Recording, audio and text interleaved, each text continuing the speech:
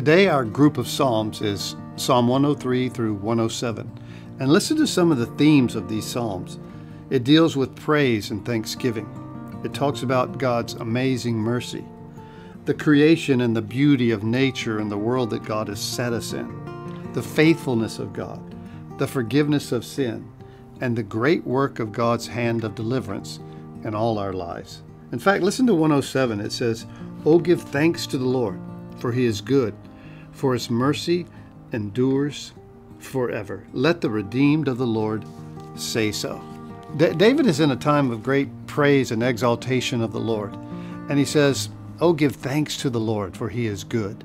And, and today, it would be amazing if you or I sat down and we just began to think of all the things that we could be thankful for that the Lord has done in our life.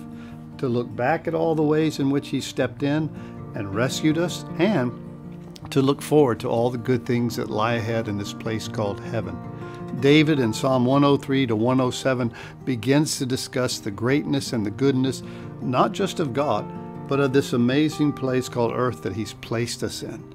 So he ends it there in this grouping of Psalms by saying, Let the redeemed of the Lord say so, who has redeemed us from the hand of the enemy. And in a nutshell, that's one of the greatest things God's ever done. He's delivered us from the hands of the enemy. We were lost, we were without hope, and our destiny wasn't too good.